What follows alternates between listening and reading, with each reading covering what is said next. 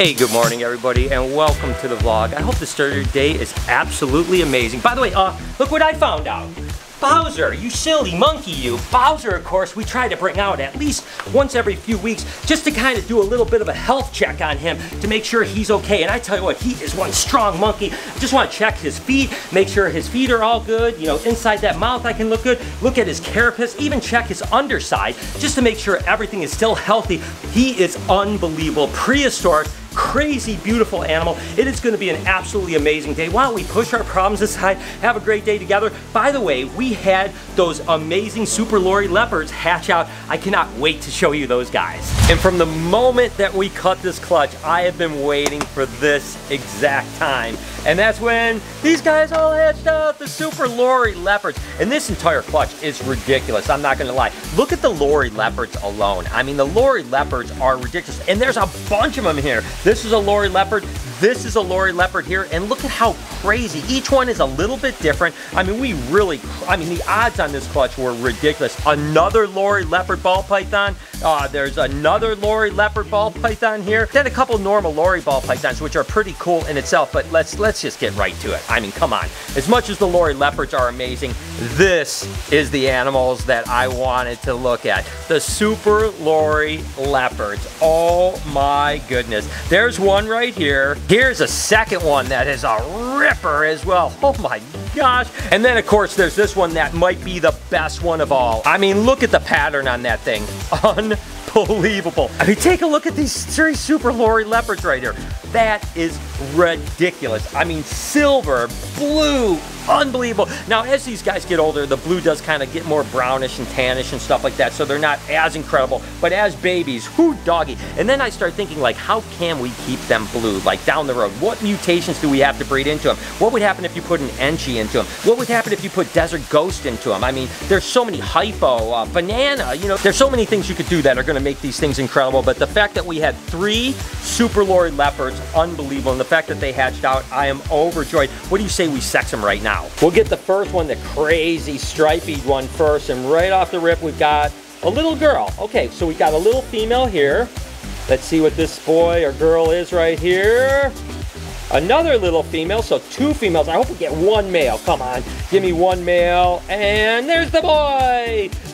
All right, so we ended up having two females right here and a boy. That's a trio. That's crazy. I'm definitely going to keep at least a pair of these. Maybe I will offer one up for sale, one female Super Lori Leopard. I'm not 100% sure yet if I'm going to do that, but we'll get them set up, get them shed out, get them feeding before we make the final decision. But oh my gosh, these babies are to die for. Uh, one of the coolest clutches that I've hatched out so far this year and maybe ever in my entire career. This next corn snake clutch that just hatched out was actually a black motley corn but it was actually, interesting enough, bred to a het black motley scaleless. So I would have expected to get some black motley corns out of this, and we didn't. What we ended up getting was a bunch of normal black corn snakes. Uh, very cool ones. There's some with them really interesting. As a matter of fact, that almost looks like a ghost corn snake. It's really interesting. And then we got some snow corn snakes. And that's one of the things that's interesting with corn snakes. A lot of times there's a lot of hidden genetics. When you're like, oh, this is just for one thing, you end up producing three or four different things. So that's just kind of how it goes. That's because so many people have bred so many mutations into the corns. It's actually almost impossible to get a corn snake that isn't carrying multiple genes, to be honest with you. Nevertheless, black corns, snow corns, these are all also possible het for scaleless now and are absolutely 100% het for motley in the dungeon, which can only mean one thing. Egg time, egg time, egg time. And I'm not gonna lie to you. Remember the other day when we pulled this clutch of eggs and I said this could be a life-changing clutch because it's been a project I've been working on for like seven years and I said I had two potential clutches? Well, this is number two right here. Again, this could be the het for this particular recessive mutation if it is a recessive mutation. So now we have two clutches to pull from here. I'm gonna pull Mama off here. Go ahead, get up Mama, you're okay. And again, another beautiful clutch. I could not be happier. The one thing I was really worried about with this project is what happens if they slugged out, right? It would mean I'd have to wait an entirely another year. The fact that we had seven eggs from the first clutch, and I'm not sure how many from the second clutch, but it looks like about the same number. I'm just gonna go ahead and get these in the egg box and we can count them up. But now we have two clutches, and then our odds are much better. Because the truth is, is that recessive to recessive on average is one in four babies would be the actual, what they would call the homozygous or visual, right? So now we actually have two, four, six, seven more eggs. That means we have 14 eggs total. Out of 14 eggs, in theory, we should have three of those visual animals. This at least extends our opportunity to produce it, right? So, and it's only a few days, maybe four or five days apart. So when we hit the first clutch, if it turns out to be recessive, we are golden and we can look forward to cutting this clutch. If we miss on the first clutch, we at least have the second clutch coming in just a handful of days to hopefully prove it out. Like I said, game changer, gonna be amazing. I hope this works out just so I can share it with you guys, but that's it. The lonely clutch today down in the dungeon, but it was a banger.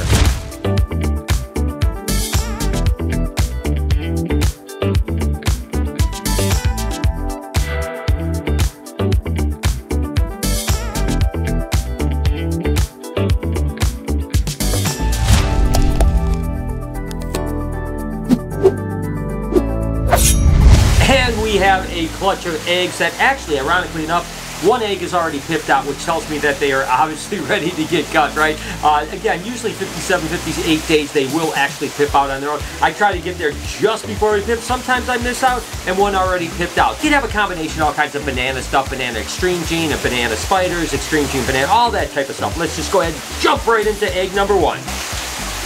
The first egg always like that exciting egg, you know. I don't know why. I guess all of them are exciting, but uh, looks like we have, ooh, what the heck? Right off the bat, we get a an animal that doesn't make any sense. It looks like it's a pastel. We shouldn't have a pastel. Well, maybe it's just, wait a second, maybe it isn't a pastel. Maybe it's just a really pretty normal. Wow, that's a bizarre looking, I think it is a normal, but it's really cool. So who knows? I don't know. Maybe there's something else genetically going on. Maybe this is the extreme gene. Not, I don't know. Let's just jump onto egg number two. And like I always try to say, you know, I am uh, always learning and figuring things out myself. So I get shocked all the time as well. This is another just normal ball python in the second egg that looks like, and I think it is that extreme gene has got some influence on it. The extreme gene is kind of just a little bit of a reduction, a pattern, kind of makes things enhanced and stuff like that. So I have a feeling the first two we hatched out here are going to be extreme gene no banana stuff yet. So let's move on to egg number three. All right, three, come on, let's get something interesting here, guys. Let's go. All right, all right. Oh, yeah, baby. Woo! Yeah, we hit it right there. That is the banana. Oh my gosh, this thing is amazing. This is the Banana Extreme Gene Spider, and it is a zinger. I mean, that is one of the prettiest Extreme Gene bananas I've ever seen. Wow, there is such a reduction of pattern.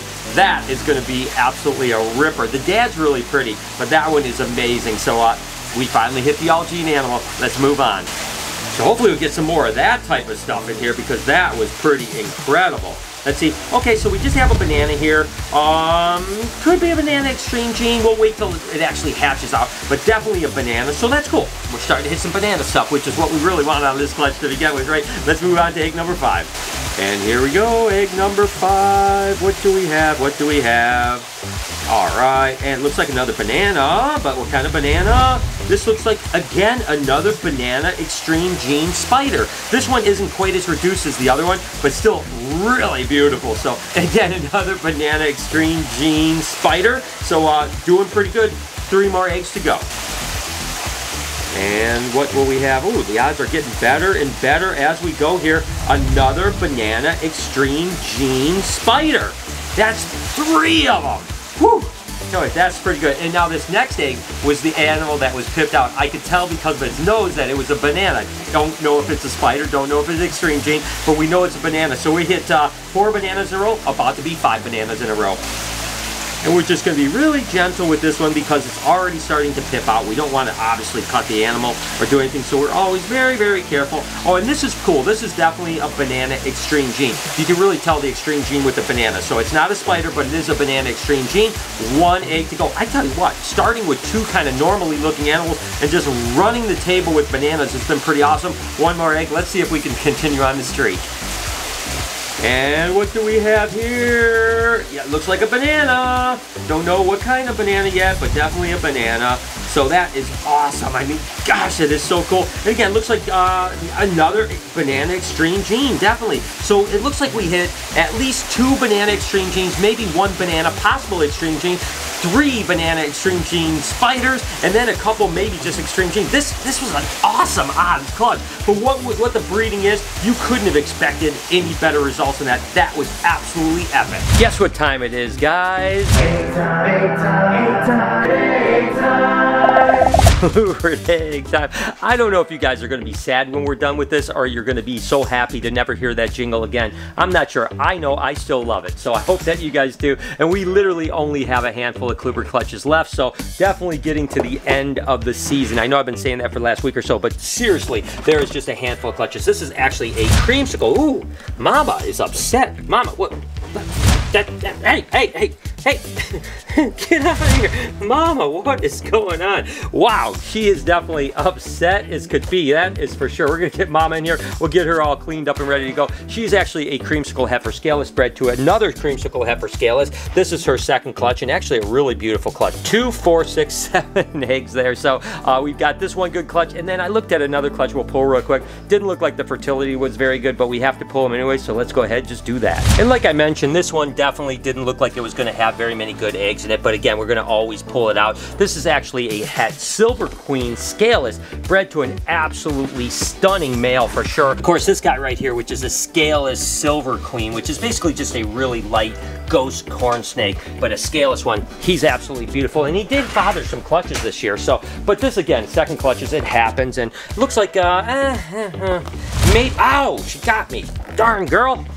These girls are being protective today. We'll get mama back in here, get her all cleaned up, get her water, all that good stuff. And I'll be honest with you, from what I see right here, it looks like maybe, it looks like just one good egg in this clutch. But the one egg does look good and you never know what's gonna happen. Who knows? Maybe we'll hatch a scaleless silver queen from that one egg. Other than that, a bunch of duds. Uh, well, actually this one looks like it might be okay too. I'll just set it up. Not sure if that one is. I'll probably candle it to make sure, but looks like one, maybe two good eggs. That's the way it goes goes. We're wrapping up the breeding season. I would say four, five more clutches, and we are done for the year with colubrids. You guys remember our little science project spotted python clutch that had the see-through eggs? Well, guess what?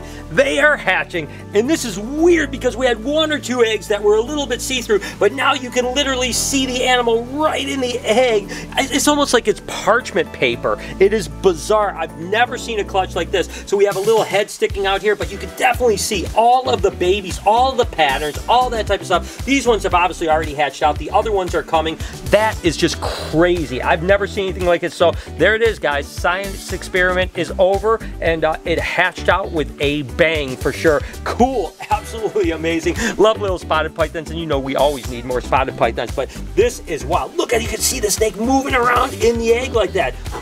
I tell you, I've never seen anything like it. I am just blown away. If you enjoyed this vlog, can you do me a favor? Check out this playlist of a bunch of baby snakes. You can roll through that as much as you want. Can you also do me a favor? Can you please support my podcast channel? It's called Checking In. You can subscribe to it right over here.